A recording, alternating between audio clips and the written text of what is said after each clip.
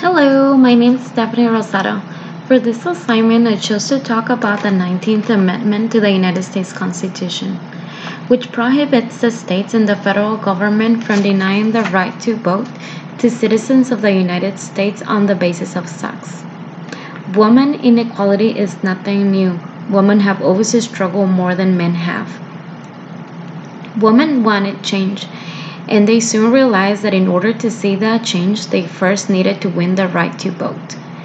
Endorsed on August 18, 1920, after a long struggle known as the women's suffrage movement, which actually started in 1848, this victory was the most significant achievement of women in the progressive era, and it was achieved peacefully.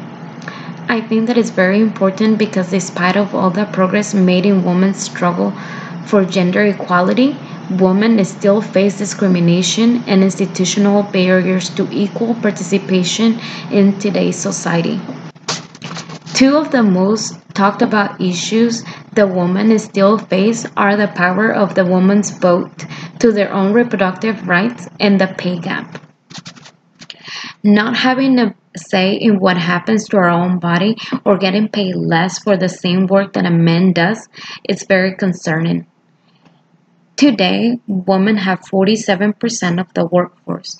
They occupy 20% of US Congress and more women under the age of 29 are obtaining their undergraduate diplomas compared to men. However, there's so much to celebrate about women's empowerment. There's still so much to do personally, professionally, and financially. Women have come a long way, and this amendment gave, gave women a chance to speak up and be heard in today's world.